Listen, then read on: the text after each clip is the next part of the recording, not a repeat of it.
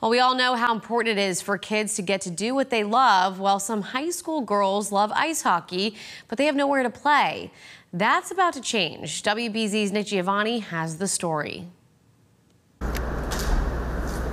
Opening a door that's been locked to some in the high school hockey world. There's a new league being formed to make the sport more accessible to girls. I've dreamed to play in high school.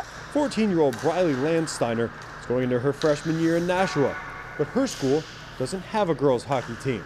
I've played my almost my entire life, and now I'm getting denied the opportunity to play in high school. It's heartbreaking. Similar cases across the Commonwealth.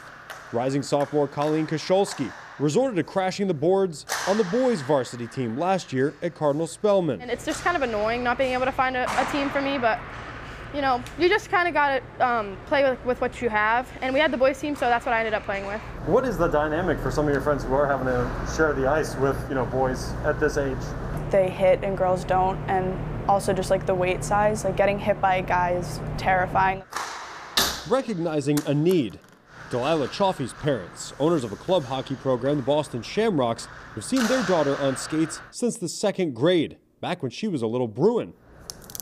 Went to work rolling out what they're calling the Northeast Intercounty Scholastic Hockey League, or NISHL, as an option for girls in the absence of a high school team, even though Delilah is on one. We're trying to keep it as cheap and as effective as, and so we can get as many girls out there and have money not be a barrier. Still in the early stages, Michael Chaffee says they'll be fielding at least four teams broken up by region, with an emphasis on camaraderie as much as competition. How much does that mean to you to, to have something like this? Um, I think it's awesome because playing on the boys team wasn't like it wasn't bad, but I just am really excited to play girls because I feel like in girls hockey there's a lot more like skill involved. Really just coming into something new and it's it's exciting but also nervous.